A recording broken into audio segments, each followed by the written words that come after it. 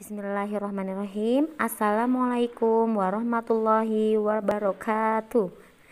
Berjumpa lagi dengan Bu Syifa. Di pembelajaran kali ini kita akan belajar tematik tema 1 subtema 1 pembelajaran pertama yaitu bahasa Indonesia ungkapan.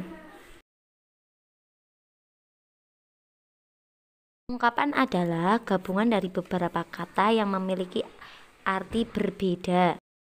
Contoh yang pertama adalah buah hati.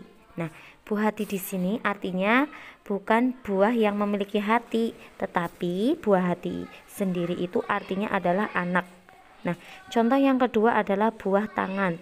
Buah tangan juga di sini artinya bukan tangan memiliki buah, tetapi artinya adalah oleh-oleh. Berikut ini adalah contoh percakapan menggunakan ungkapan. Percakapannya, ayah, mari ku bawakan tas ayah. Nah, Nina menjawab, e, Nina memang anak yang ringan tangan.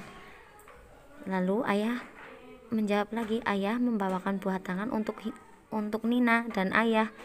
Nina menjawab, terima kasih ayah.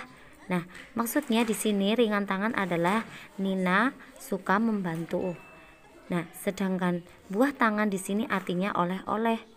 Nah, sekarang tugas kalian adalah mengerjakan pupena halaman 4, mencari ungkapan pada teks. Nah, nanti kalau sudah selesai dikirim ya, Bu Syifa tunggu. Wassalamualaikum warahmatullahi wabarakatuh.